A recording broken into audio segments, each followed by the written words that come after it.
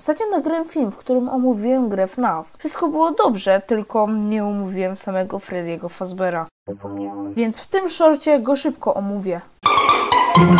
Freddy Fazbear to brązowy niedźwiedź. W grze jest najtrudniejszym animatronikiem, ponieważ on nie czeka pod drzwiami, kiedy nas zjeść, tylko on po prostu przychodzi z kamery na kamerę. Najlepszym sposobem, aby przeżyć tą noc, jest śledzić Freddy'ego na kamerach. I też, kiedy skończy nam się energia, przychodzi po nas. Wszyscy wiemy, co się wtedy dzieje. Przychodzi Freddy, gra tą swoją charakterystyczną muzykę i potem jest potężny jumpscare.